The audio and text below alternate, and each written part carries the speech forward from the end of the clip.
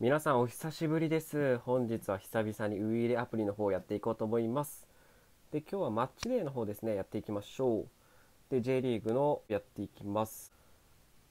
選んだチームはマリノスなんですけど今こんな感じの布陣で臨んでます。じゃあ早速やっていきましょう。コロナによる影響でね結構ウイイレやる時間ができたんで久々に動画でも上げていこうかなと思っております。で今ねマリノスで2回やってるんですけど2回とも神戸でしたね。で3チーム目も神戸ということで頑張って倒していきましょう。レッツゴーはいじゃあよろしくお願いいたします、えー、マリノスのフォワードはですね3人とも外国人を使っております。で後半からオナイユと中川と誰だっけな1人えー、大津ですね。を使っていきます。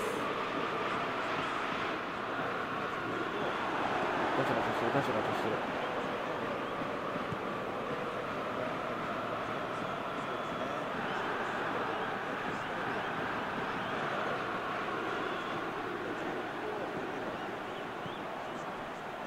さあ抜けるんじゃない、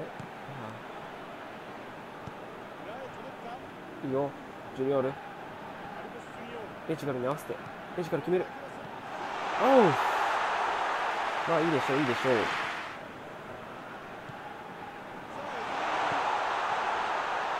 あウルキ戻して和田さんのクロスに。あオフサイドじゃん。どうしてしょほらオフサイド。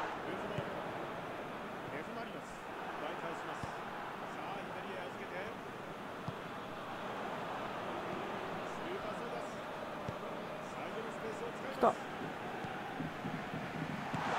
そ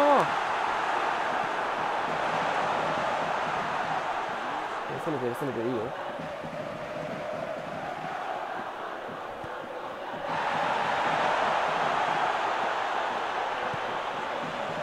マルコス決めて。うん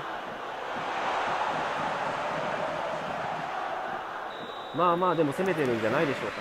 まあね結構ちょっと久々の実況なんで。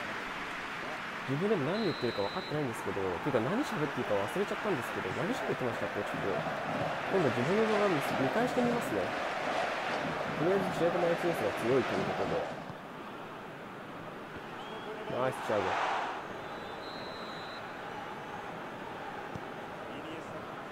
危ない。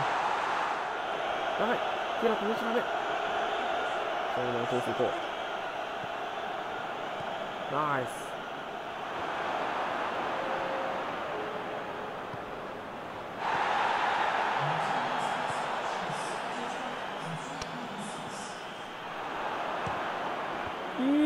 ありがとうございますマルコスいいですねキーパーを見てのいいシュートでここでですね僕はまずオナイジを入れてそれから大津選手を入れて中川選手を入れると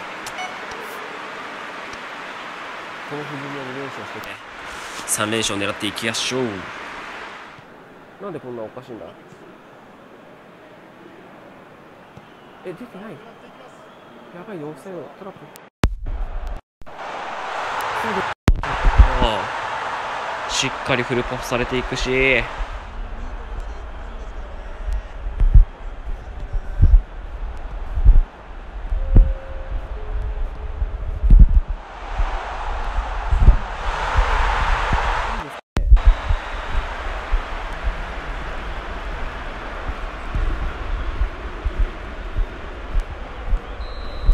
ます。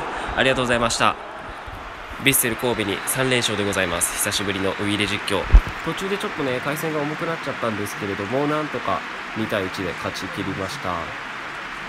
でねこれからちょくちょくまた上げていければ上げていこうかなと思いますので皆様楽しみに待っていただければと思います。はいということでまた次回の動画でお会いしましょう。バイバイ。